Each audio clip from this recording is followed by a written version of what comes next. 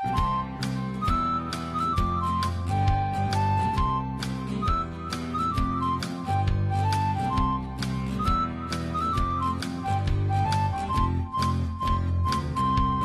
the Andy Griffith Show, facts and trivia, with your host, Bob Snap.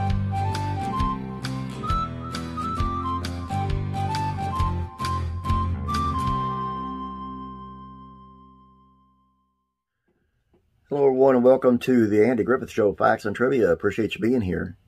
Uh, today's video is on Don Knotts' final tele final role.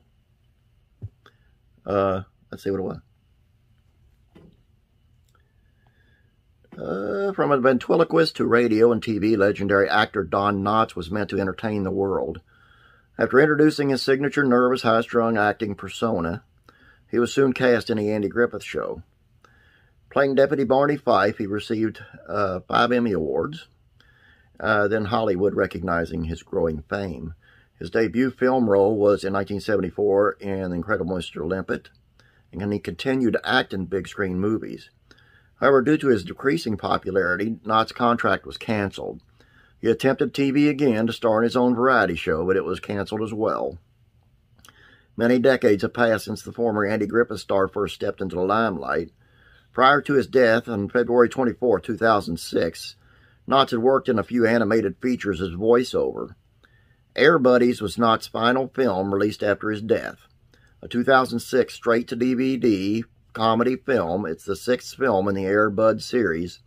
According to IMDb, it follows the life of a lonely teenager and his dog, who has the uncanny ability to play every sport. Knotts starred as Sniffer, an old bloodhound who lost his sense of smell years ago. He later regained it after uh, getting sprayed by a skunk. He's one of the characters in the movie who helped the buddies find their parents. Short and sweet. Uh, I actually thought, and I did a video on this, where his, I guess it was because it was animated, uh, but he played a mayor uh, turkey in, in an animated movie. But apparently this, we'll just say they both happened to it. Uh, appreciate you being here. Don't forget the classic sitcoms, facts, and trivia. And don't forget, once the Beverly Hillbillies Facts and Trivia hits a thousand subscribers, we're going to be doing a giveaway that involves all three channels. So there'll be a giveaway for each channel. Uh, but first, you have to be subscribed to the Beverly Hillbillies Facts and Trivia to enter. Uh, and you'll find that link down in the description below.